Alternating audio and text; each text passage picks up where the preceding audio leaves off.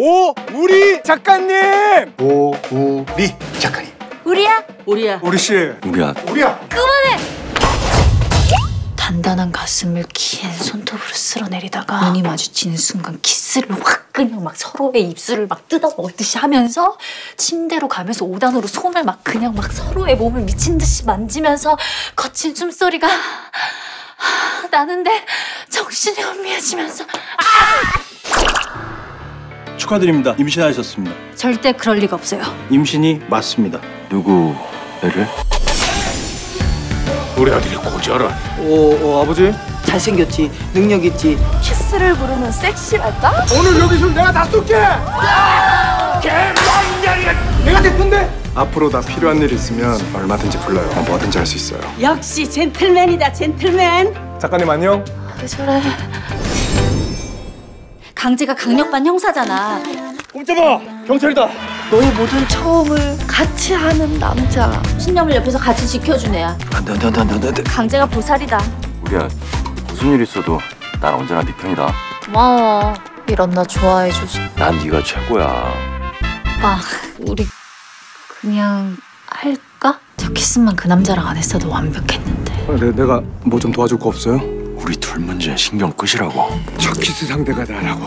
아유 선 없네. 나 작가님 좋아해요. 그게 부담스럽다는 뜻이에요. 역시 널 가장 잘하는 건 나야.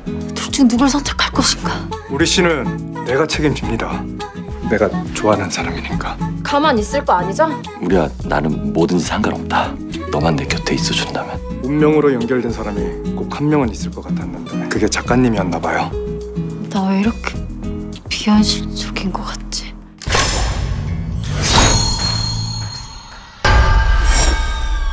김 회장이 나타났다며.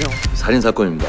의료용 메스로 대동맥 절단했고요. 30초 안에 치료를 선언 김 회장이 살인 수법과 동일합니다 얼굴 없는 마약왕으로 불렸는데 강제 선배 파트너였던 김준혁 경사님께서 김 회장 추적 중에 순직하셨습니다.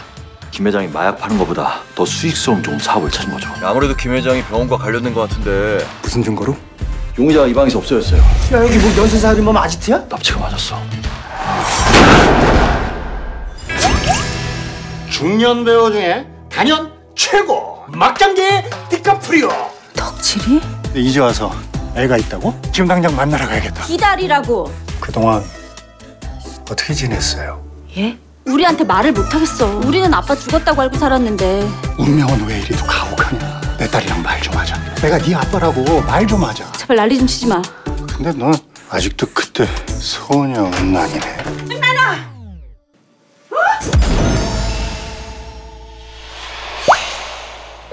괜찮아, 우리야.